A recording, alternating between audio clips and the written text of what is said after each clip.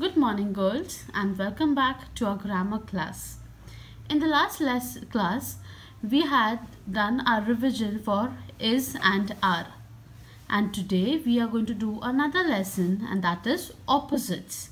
So I want you all to be ready with your GC books, okay, so that we all can read and have a recap over our lesson, okay. So let's begin.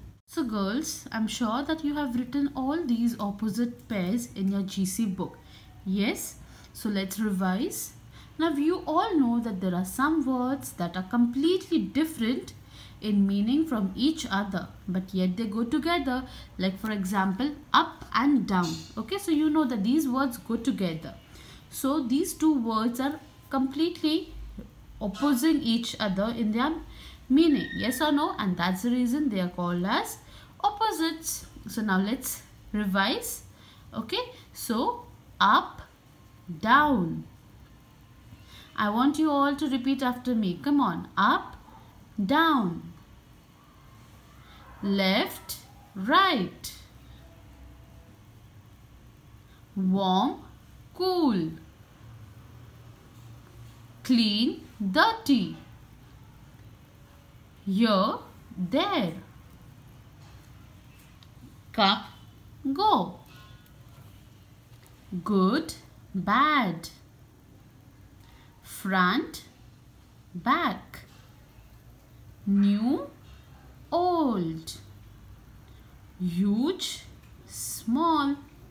Okay, so I hope you are repeating after me. Yes, now let's have a recap from our workbook also. So kindly open your books to page number 24. So we had already done this exercise. Yes, but let's have a recap. So thin, fat, young, old, happy, sad, night, day. And here there are another two pairs. Hot, cold, boy, girl. Okay empty, full, short, tall, big, small, long, short. Now here girls in this sentences also we have our opposite pairs like rich, poor, sweet, sour, fast, slow, open, closed, dry, wet heavy light. Okay now here again there are some pairs. Let's read and find the pairs. Okay so hot cold ba black white outside inside. Very good. Smooth rough quiet loud big small so girls, I hope you practice all these words and learn these pairs of opposites.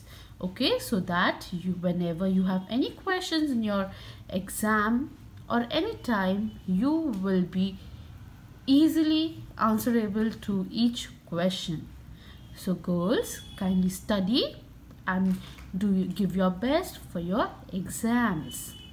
Thank you girls and take care and I hope that you have written all this and also have completed your GC book. Take care girls.